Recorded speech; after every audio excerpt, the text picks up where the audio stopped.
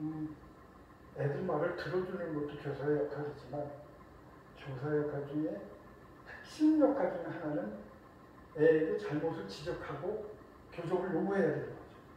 그걸 어떻게 언제 어떻게 해야 되냐 그 그런 질문이죠. 네. 키워드를 찾아드릴게요. 화내는 기분. 그 제가 학부모님들한테도 강의할 때 첫 번째 칭찬하는 기술, 두 번째 화내는 기술. 엄마가 제대로 화를 못 내면 애가 훈육이 안 돼. 근데 그 근본 원리는 똑같습니다. 미리 말씀드리면 그 TT에 나오는 무슨 메시지? 화를 낼 때 어떻게 하셔요?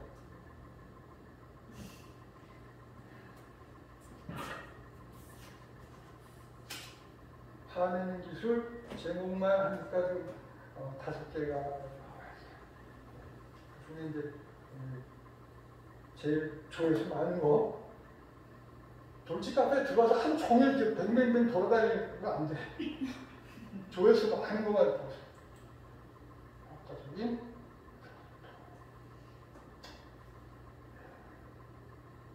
여기 아이 메시지를 이렇게 구체적으로 어, 표현을 한 겁니다. 그 선생님도 화낼 때 네, 요거는 그 다- 학습지로 이렇게 예, 제가 만들어서 어, 저는 애들한테 서운한 서운한 감정이 있으면 아이 메시지로 다 표현을 해줘요. 그래서 그렇게 해야 애들도 배워요.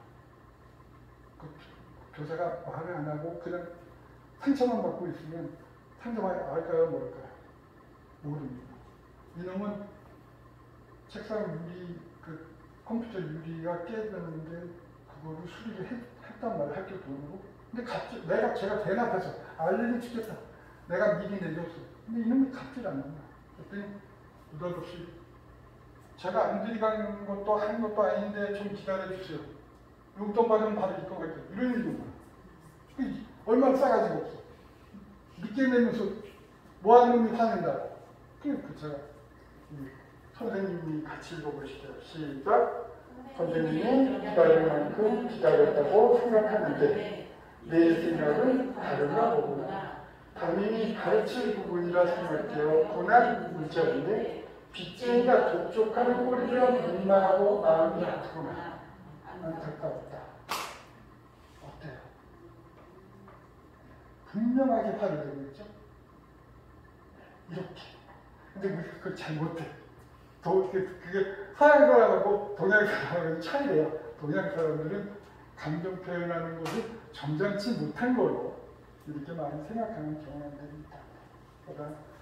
이 INCG 부분은 음, 중요한 것 같아요. 네, 어, 추가로 혹시 궁금하신 네, 네, 우리 아이, 지만 아이, 우리는 교사는 메시지 화신이 돼요. 막 소파에 또, 또, 또 열받아.